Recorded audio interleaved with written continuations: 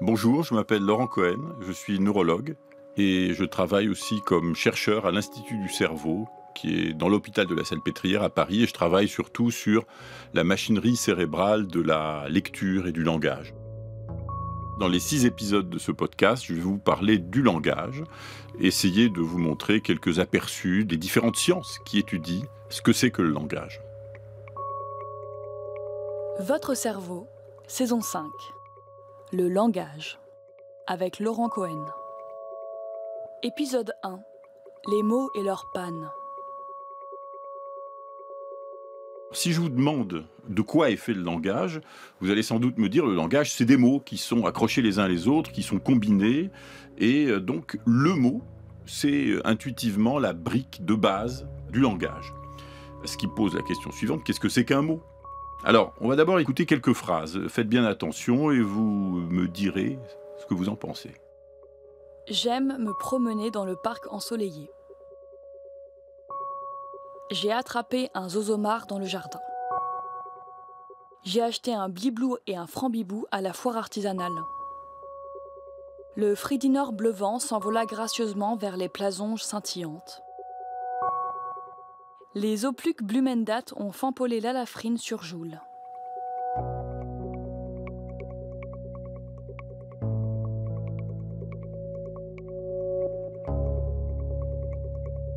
Alors qu'est-ce que vous en pensez? Moi je trouve qu'on remarque deux choses un peu contradictoires. La première chose, c'est qu'évidemment on comprend de moins en moins de quoi il s'agit d'une phrase à l'autre.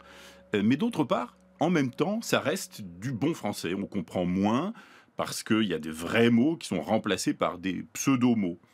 Mais attention, tous les mots n'ont pas été remplacés par des pseudo-mots. Il y a certains mots qui ont été sauvés, qui sont des petits mots, le, la, un, qui, etc. Et c'est cela qui permettent en fait de construire une phrase qui est une bonne grammaire bien reconnaissable, sujet, verbe, féminin, masculin, etc. Et ces petits mots, on les appelle des mots de classe fermée. Fermée parce qu'on ne peut pas les inventer. On ne peut pas en inventer tous les jours tant qu'on veut. Alors de temps en temps, il y a des tentatives comme Yel par exemple, mais c'est vraiment difficile et rare. En revanche, les mots qui ont été remplacés par des pseudomots sont des mots de classe ouverte, comme on dit, c'est-à-dire qu'on peut en inventer autant qu'on veut, et d'ailleurs c'est ce qu'on fait, et des mots comme complosphère, multivers, chilé, etc., c'est des mots qui n'existaient pas il n'y a pas très longtemps. Alors, j'ai acheté un bliblou et un frambibou, par exemple. C'est du bon français parce que, comme je vous ai dit, la grammaire est correcte. On dit plutôt la syntaxe, d'ailleurs, que la grammaire. Mais aussi parce que les sons sont corrects, sont bien combinés. Frambibou, par exemple, c'est pas un mot, mais ça pourrait très bien, du jour au lendemain, devenir un mot du français. Donc, la syntaxe, les sons, les mots, ce qu'on devine ici, c'est que le langage est une machinerie très compliquée et qu'il faut essayer de la comprendre à différents niveaux. Il y a les sons, il y a la grammaire, etc. Quand je vous parle, qu'est-ce qui se passe dans votre cerveau? Mais ben, Quand je vous parle, vos oreilles d'abord euh, transforment le son qui arrive en signaux électriques. Et puis ces signaux électriques sont expédiés au cerveau. Et le cerveau, successivement, doit identifier les sons. C'est un be, c'est un feu, c'est un a, etc. Et ceci, euh, que vous écoutiez une voix d'homme, de femme, d'enfant, avec un accent marseillais, avec un accent anglais, etc., c'est des choses très différentes, mais chaque fois vous devez déterminer quel son c'est. Et une fois que vous avez fait ça, vous devez reconnaître les mots. Et puis les mots défilent à toute allure, et vous en connaissez des dizaines de milliers de mots. Et chaque seconde, dans ce flot de paroles, vous devez reconnaître les mots qui défilent. Il n'y a pas que ça, vous devez faire la grammaire, c'est-à-dire vous savez, vous devez savoir ce que c'est que le sujet, le verbe, l'objet, euh, qui fait quoi dans une phrase comme la fille donne un gâteau au garçon, et puis comprendre finalement la signification du message. Et comme je vous ai dit, tout ça, ça va à toute allure, 200 mots par minute environ, et ça c'est quand vous entendez. Mais quand vous parlez vous-même, eh bien vous devez faire toute la même chose, mais à l'envers. Vous avez une idée, vous devez trouver les mots, vous devez les agencer en phrases, vous devez trouver les sons, et vous devez prononcer les. Tout ça à toute allure. Alors vous imaginez la complication de la machine cérébrale qui est capable de faire tout ça. Et une machine très compliquée, qu'est-ce que ça veut dire? Une machine très compliquée, ça veut dire des pannes très nombreuses, très diverses. Une brosse à dents qui est une machine très simple, eh ben, il y a deux pannes possibles, ou bien la brosse à dents perd ses poils, ou bien le manche se casse. Mais si vous prenez une fusée qui contient des millions de pièces différentes, vous pouvez avoir des milliers de pannes différentes. Et en fait, le langage, c'est un petit peu comme une fusée, c'est-à-dire qu'il y a toutes sortes de pannes du langage que vous pouvez avoir si vous avez un accident cérébral, quelque chose qui endommage une partie de votre euh, cerveau. On va prendre un premier exemple et on va écouter un dialogue entre le docteur, c'est moi qui joue le docteur, et puis une patiente.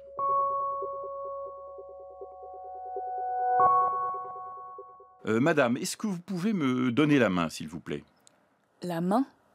La, la main? Qu'est-ce que c'est? Mais qu'est-ce que ça veut dire, la main? Bon, euh, quel âge avez-vous? Quel âge? Vous voulez dire... Euh, pourquoi est-ce que... Je, vous avez dit quel âge? Mais qu'est-ce que c'est l'âge? Quand on lui parle, cette patiente, elle est un peu comme vous tout à l'heure quand vous écoutiez j'ai attrapé un zozomar dans le jardin. Pour elle, euh, ces mots, main, âge, etc., ne veulent plus rien dire. Et en plus de cette difficulté à comprendre les mots, cette patiente n'arrive plus non plus elle-même à les trouver quand c'est à son tour de parler. Mais c'est pas tout le langage qui est perdu. Elle parle d'une manière fluide, elle articule bien, sa grammaire est correcte, et donc elle peut faire illusion dans une conversation un peu superficielle. Mais dès qu'il faut trouver un mot précis pour nommer quelque chose de précis, ben là, ça ne marche plus. Elle parle de trucs, de machins, etc. Alors, la cause habituelle de ce genre d'aphasie, aphasie, c'est des maladies du langage, la cause habituelle de ce genre d'aphasie, c'est une maladie dégénérative. C'est pas la maladie d'Alzheimer, c'en est une autre qui détruit progressivement une partie du cerveau qu'on appelle les lobes temporaux, qui sont derrière les oreilles, derrière les tempes. C'est pour ça que ça s'appelle comme ça et qui jouent un rôle très important dans notre dictionnaire mental. C'est grâce à eux que nous pouvons avoir des mots, savoir comment ils se prononcent, savoir ce qu'ils veulent dire, etc. Ça ne veut pas dire que le sens des mots est stocké dans cette partie du cerveau, parce qu'en fait, le, sens des mots est dispersé un petit peu partout dans le cerveau. L'image que vous avez d'une brioche, par exemple, elle est stockée dans des parties du cerveau qui s'occupent de la vision. Le bruit que fait un oiseau, c'est stocké dans, dans une partie du cerveau qui s'occupe des sons. Mais les lobes temporaux, cette partie des lobes temporaux, met tous ces fragments d'informations ensemble. Ce qui fait que si vous avez une destruction de cette partie de votre cerveau, eh bien, les mots et les choses partent en fumée, en quelque sorte. Alors vous allez me dire, euh, moi ça m'arrive tout le temps, euh, j'arrive pas à trouver les mots, euh, j'ai tout le temps un mot sur le bout de la langue. Il ne faut pas paniquer. ce qu'on appelle le mot sur le bout de la langue, c'est quelque chose de tout à fait différent de ces maladies, c'est quelque chose de tout à fait normal. Quand on prend de l'âge, ça se produit un petit peu plus souvent. En tout cas, c'est une situation qui, n'est pas grave et qui correspond à une espèce de déconnexion entre le sens et le son du mot. Il y a évidemment dans le langage une machinerie qui s'occupe précisément de sélectionner les sons. Et cette machine elle-même peut tomber en panne. Et là, on va avoir un exemple d'un patient qui a une complète déstructuration de sa machine à sélectionner les sons et qui a ce qu'on appelle un jargon. J'étais moins, moins zesté, mais, mais, mais impertant, en vouloir faire du bon terme. Mais nous le faire. J'étais, euh, cradé, mais j'étais long de pouvoir vous créder, vous montrer quelque chose, euh, de, le verdois, verdois de quelque chose de vu, de le cru, de, de l'ami vivien, l'huméfier, Quelle est la morale générale de toute cette affaire? C'est que notre langage est une combinaison d'opérations nombreuses qui ont à voir avec le sens, avec le son, avec les combinaisons, etc. Et très souvent, la possibilité de combiner des choses simples pour en fabriquer des plus compliquées. Sans limite. C'est-à-dire qu'à partir d'un nombre restreint de sons de la langue, ou de lettres, si on écrit, on peut créer une infinité de mots nouveaux. Et à partir d'un nombre limité de mots, nous pouvons créer une infinité de phrases. Et les pannes, dont on a vu quelques exemples, c'est des fenêtres qui nous donnent une certaine vue sur le fonctionnement de cette machinerie du langage. Bon, maintenant oublions les pannes et prenons un mot sans aucun mystère, comme le mot table par exemple.